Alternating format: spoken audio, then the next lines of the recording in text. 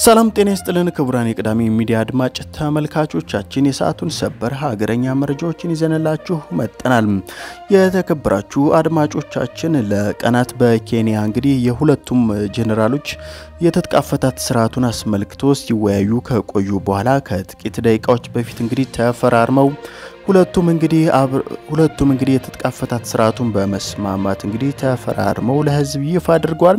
የመከላከያ ሰራዊት ጠቅላይ ኢታማጆር ሹም የሆኑት ፊደል ማርሻል ብርሃኑ ጁላናም የትግራይ ኃይሎች አዛዥ የሆኑትም ለሌቴናል ጄኔራል ታደሰ ወረደ ናቸው። እንግዲህ በፕሪቶሪያ የግጭት ማቆም ስምምነትን ተግባራዊ የሚያደርገውን ሰነድ ዛሬ የተፈራረሙት እንግዲህ ሁለቱ ጄኔራሎች የተፈራረሙበትን ሰነድ በተመለከተ በትግራይ በአፋር እና በአማራ ክልል የሰብአዊ እርዳታን በተመለከተና በዚህ ሰነድ የተጠቃለሉትን አንኳር ነጥቦች ይዘናል ወደ እናንተ የምናቀርብላችሁ ይሆናል።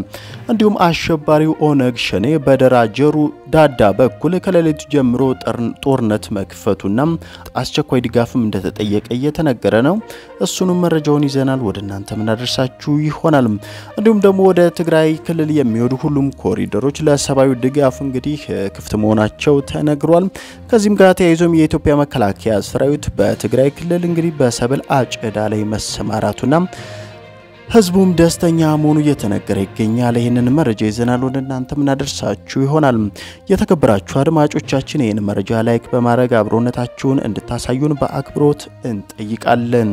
በመጀመሪያም የመከላከያ ሰራዊት ጠቅላይ ኢታማጆር ሹምና ፊልድ ማርሻል ብርሃኑ ጁላም እንዲሁም ደግሞ የትግራይ ኃይሎች ለቀናት ሲደረግ የነበረው ስብሰባ በዛሬው ዕለት መጠናቀቁ ታወቀም። የኢትዮጵያ መከላከያ የኢትዮጵያ መከላከያ ሰራዊት ጠቅላይ ኢታማጆር ሹም ፊደል ማርሻል ብርሃኑ ጁላና የትግራይ ኃይሎች አዛዥ ሌተናል ጄኔራል ታደሰ ወረደን ጨምሮ ሌሎች በኢትዮጵያና በህወሓት ታጣቂ ቡድን ወገኖች አማካኝነት ለቀናት ሲካሄድ የነበረው ትጥቅ የመፍታት ሂደቱን ለማሳለስ ሲደረግ የነበረው ውይይት እንግዲህ በዛሬው ዕለት መቋጫ አግኝቶለታል። እንግዲህ ከሰዓታት በፊትም በሁለቱ ወገኖች አማካኝነት እንግዲህ ስምምነት መድረሳቸው ተሰምቷል። በተለይም የመከላከያ ሰራዊት ጠቅላይ ኢታማጆር ሹም ፊልድ ማርሻል ብርሃኑ ጁላና የትግራይ ኃይሎች አዛዥ ሌተናል ጄኔራል ታደሰ ወረደም የፕሪቶሪያውን የግጭት ማቆም ስምምነት ተግባራዊ የሚያደርገውን ሰነድ ዛሬ መፈራረማቸው ተገልጿል። ሁለቱም አዛዦች የተፈራረሙት ሰነድ በትግራይ በአፋርና በአማራ ክልል የሰብአዊ እርዳታን በማፋጠን ማዳረስ የሚያስችል ነው ተብሏል። ሁለት ከፍተኛ የጦር አዛዦች ስምምነቱን የተፈራረሙት በኬንያ ዋና ከተማ ናይሮቢ ካለፈው ሰኞ ጥቅምት 28 2015 ጀምሮ ካደረጉት ድርድር በኋላ እንደሆነ ተጠቅሷል።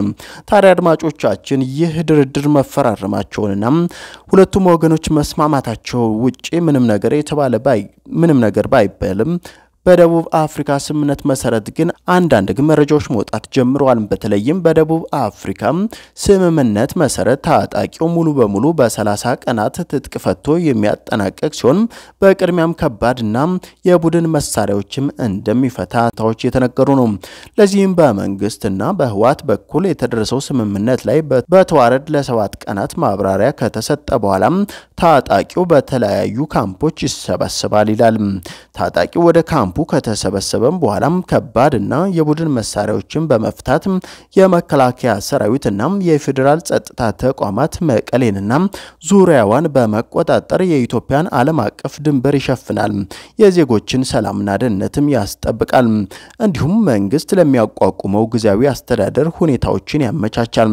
ሌሎች ዝርዝር የአፈጻጸም የጊዜ ሰሌዳን በተመለከተም ከሁለቱ ወገኖች የተውጣጡ ኮሚቴዎች እንደሚሰሩ ታውቋል። ከዚህም ጋር በተያያዘ አድማጮቻችን ወደ ትግራይ ክልል የሚሄዱም ሁሉም ኮሪደሮች ለሰብአዊ ድጋፍ አቅርቦት ክፍት መደረጋቸው ተገልጿል። የአደጋ ስጋት አመራር ኮሚሽን አምባሳደር ሽፈራው ተክለማርያም ለተለያዩ ዓለም አቀፍ የሰብአዊ ድጋፍ አቅራቢ ድርጅቶች የሰሜን ኢትዮጵያ ነባራዊ ሁኔታን በተመለከተም ማብራሪያ የሰጡ ሲሆን በደቡብ አፍሪካ ፕሪቶሪያ የተደረገውን የሰላም ስምምነት ተከትሎም ወደ ኢትዮጵያ ሰብአዊ ድጋፍ ለሚያቀርቡ ተቋማት የየብስም ሆነም የአየር ትራንስፖርት ክፍት መደረጉን ገልጿል። በአፋር ክልል ከአባላ መቀሌ፣ በሁመራ ክልል በሁመራ በኩልም ሽራሮ፣ ሽሬ፣ አክሱም፣ አድዋም፣ በጎንደር አዳርቃይ፣ ማይጸብሪና ሽሬ እንዲሁም የወልዲያ አላማጣ መስመሮች ሁሉም ለሰብአዊ እርዳታም ክፍት እንደሆኑ ተነግሯል። በአፋር ክልል አባላ በመቀሌ የሙከራ አገልግሎት የሰጠ ሲሆን በሁመራ በኩልም ሽራሮ፣ ሽሬ፣ አክሱም፣ አድዋ በኩልም ከገቡ 16 ከባድ መኪናዎች መካከል ሶስቱም የሕክምና ቁሳቁስ ይዘው መግባታቸው እየተገለጸ ነው። የተከበራችሁ አድማጮቻችን ከዚህም ጋር ተያይዞ በኢትዮጵያ መከላከያ ሰራዊትም በትግራይ ክልል ሰብል አጨዳ ላይ መሰማራቱ እየተገለጸ ነው።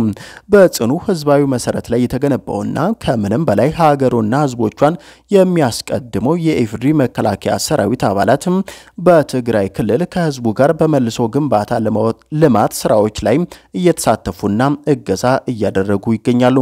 ሰብል በደረሰባቸው አካባቢዎች ሰራዊቱ ከህብረተሰቡ ጋር በመሆን ሰብል በመሰብሰብ የህዝብ ልጅነቱን ዳግም እያስመሰከረ ነው። በደቡብ አፍሪካ የተደረሰው የሰላም ስምምነትን ተከትሎም የነፈሰው የሰላም አየር የክልሉን ህዝብ ወደ መደበኛ ኑሮ እንዲመልስ እንዲመለስ በር ከፍቶለታል። የመከላከያ ሰራዊት አባላት ከትግራይ ህዝብ ጋር በመሆን በግብርናና በሌሎች የመሰረተ ልማት መልሶ ግንባታ ስራዎች በጋራ እየሰሩ እንደሆነ ተገልጿል። በመጨረሻም አድማጮቻችን አሸባሪው ኦነግ ሸኔም በደራ ጅሩ ዳዳ በኩል ከሌሊቱ ጀምሮ ጦርነት መክፈቱ ተገለጸ።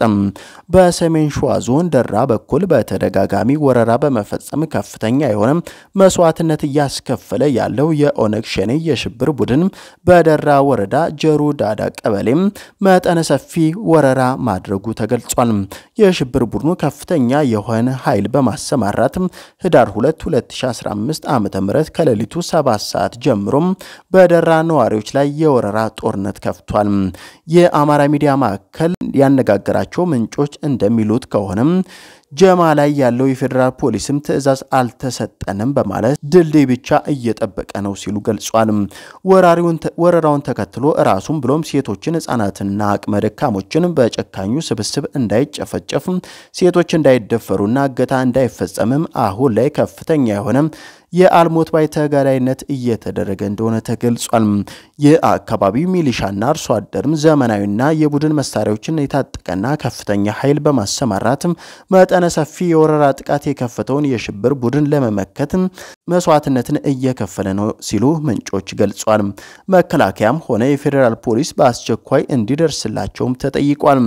የአካባቢው ሚሊሻዎችና አርሶ አደሮችም የሽብር ቡድኑ በየጊዜው አነጣጥሮ በሚፈጽማቸው እገታና የወረራ ጥቃት ለከፍተኛ ጉዳት እየተዳረጉ መሆናቸውን ቢታወቅም የክልሉም ሆነም የፌዴራል መንግስት የህዝቡን ተደጋጋሚ የድረሱልን መንገድ አስከፍቱልን፣ የታገቱትን አስለቅቁልንናም ኃይል መድቡልን የሚለውን ለቅሶና ጩኸት በአግባቡ አድምጦ ፈጥኖ በቂ ኃይል ለማሰማራት ባለመቻሉም ከፍተኛ የሆነ የህይወትና የቁሳዊ ውድመት እያጋጠመ መሆኑ ተገልጿል። አድማጮቻችን ለሰዓቱ ወደ እናንተ ያደረስናቸው መረጃዎች እነዚህን ይመስሉ ነበር። በተለይም በዛሬው ዕለት ሲጠበቅ የነበረው በሁለቱ ወገኖች መካከል የተደረገው የሰላም ስምምነትም ቀጣይነት ኑሮት ለሀገራችን ኢትዮጵያም ሰላሟን የምታገኝበት እንዲያደርግልን እየተመኘን ይህንንም ፕሮግራም like በማድረግ ላልደረሳቸው ሰዎች share እንድታደርጉና ለቅዳሜ ሚዲያም አዲስ ከሆናችሁ subscribe በማድረግ የደወል ምልክቱንም በመጫን ቤተሰብ ጋር እንድትሆኑና በየሰዓታቱም የምንለቃቸውን ቪዲዮዎችም እንድታገኙ እንጠይቃለን። ክቡራን አድማጮቻችን የሰዓቱ መረጃችን በዚህ ጨረስን። ከሰዓታት በኋላ በሌላ መረጃ እስክንገናኝ ድረስም በያላችሁበት የዓለም ስፍራ ሁሉ ሰላም፣ ፍቅር፣ አንድነት ከእናንተ ጋር ይሁን።